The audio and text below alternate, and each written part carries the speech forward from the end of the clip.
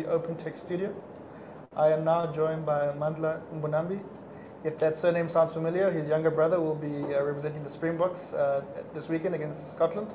Uh, I would love to talk to him solely about that. Uh, we won't have a chance, unfortunately.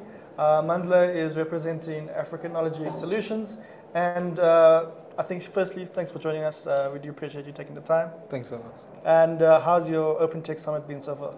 It's been very much uh, grateful, and then now uh, too much of an insight and knowledge that we've been acquiring here. Mm-hmm. So it's a it's a, a step in the right direction, and uh, for one to to be here. Great stuff. Um, so I must admit, I hadn't done my homework. Uh, a bit of Afri- Africonology Solutions. What are you guys all about? Oh, African Solutions, uh, we are a, a tech business. Uh, we providing services uh, like a testing as a service, uh, digital transformation. We're doing cloud readiness and infrastructure services, uh, security as a service, and then uh, managed services integration, consulting, and uh, enterprise solutions where we're housing all the enterprise solutions and then providing the end-to-end solutions and also the integration. Great stuff. So the alignment with Open Text is almost perfect. It's very much perfect. It's a, it's, it's a magical marriage. Great stuff. And uh, what is kind of your objectives here at the event, or what are you guys hoping to achieve? We, we are here now to also now start to acquire the next generation of tools and technology that OpenText has uh, uh, been working on, and then now looking into how to embed them into our solutions and services, and that which we provide for our customers. Oh, great stuff. Uh, I think one of the main themes that has been discussed uh, throughout today has been AI and the workforce. What is well, what are your customers kind of asking you guys as regards AI? Is it something that you guys are actively looking at? Uh, what's the thoughts there? We're actively looking into the AI space, and then uh, with the current um, embarkment on the AI um, internship that we're currently running, and then now building the workforce of the future. And then now there is no doubt that now no one can deny the impact and the benefits that are being derived from the uh, AI. So we're also looking into the AI space and also into how to help our customers now from uh, upgrading or leveraging on that technology, which now OpenText has uh, improved on. All right. Could you perhaps expand a bit more on the internship program? And you mentioned readiness and kind of future-proofing the workforce. What are your objectives there?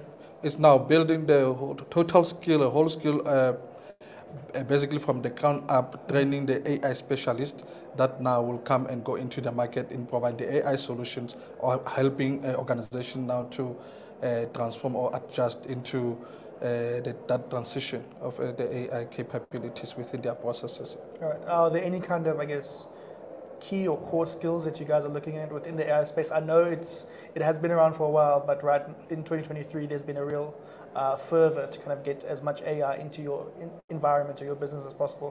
What are you guys kind of prioritizing as far as skills development in that space? Well, wha- what we prioritize now is uh, basically now your, your basic technical uh, acumen or qualification, like your IT degrees, and then somewhat the engineering degrees, because now it's, it becomes much easier Sure. to be able to to build up onto that technical, because now you're gonna need the likes of uh, programmings and and then now being analytical and technical as well. So that helps actually uh, basically uh, a step. Uh, a step into the uh, right direction in terms of now building the foundation on that.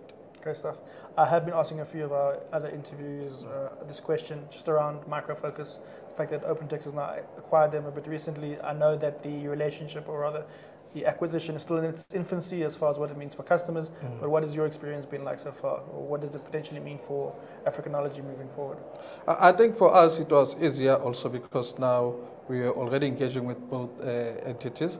Then we've been now with Micro Focus for the longest of time, and then now when the merger happened, then we're at the uh, fairly new partners of OpenText, and now looking at the entire ecosystem, it also made sense to us because even now with other customers of ours, then we're starting to engage with them on a fuller stack of uh, solutions and the tools that OpenText in cooperation uh, of Micro Focus uh, is offering. Great stuff. Um, you kind of mentioned the internship program, uh, engaging with customers at events like the summit. Uh, what does perhaps the next 12 months look like for Africonology as far as the company's focus prioritizing? No, we, we're prioritizing uh, an expansion and growth, and then also an in-depth uh, uh, capabilities that we're building around the latest technologies in order to offer uh, our customers uh, the world-best solution and enable them now to move and transition into the next phase of their businesses in meeting also their business objectives. I'm assuming then that the kind of Google Cloud relationship that OpenText has fostered recently is going to be a, a big thing for you guys? Come again on that one? The Google Cloud relationship Yes. with OpenText is going to be a big one for you guys. Definitely, it's going to be, I mean, uh, a, big one for us because now, if you look at it, most of the customers and also within our portfolios uh, of services that we offer, we also have that uh, cloud readiness. Then now being able to take the open text uh, solutions and then embed them or uh, uh, host them on the Google Cloud and, and opening it to our customers to, to work very much uh, seamlessly and also add more benefit, you know, in terms of uh, uh, agility in our services. Great stuff. So it sounds like exciting times ahead for Africonology. Very much so, and then uh, it's uh, both uh, exciting and uh, anxious times uh, Sure. because now you don't know what the future holds, but then now we definitely know what we want to achieve in future. So we're pretty much uh, excited and confident that now, together with uh, in our partnership with OpenText, and uh, there are bigger things to achieve, not only on our soil, on our soil, but then also beyond our borders. Great stuff. That's good to hear. And I guess in the more immediate future, you have a, a few rugby matches to enjoy. Uh, best of luck to our boys, and yeah, hopefully your brother can bring home another one.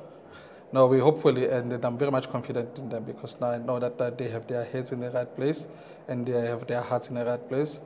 Surely we're going to see the, the change, uh, and then now it should be the history now defending the World Cup, I think you're and right. then it's coming to South Africa. Thank you, Mandla. Again, appreciate you taking the time, and uh, hopefully we can chat again in a year's time and see how Africonology is doing. Thank you very much. We're looking forward to that. Great stuff. Thank you. Cool.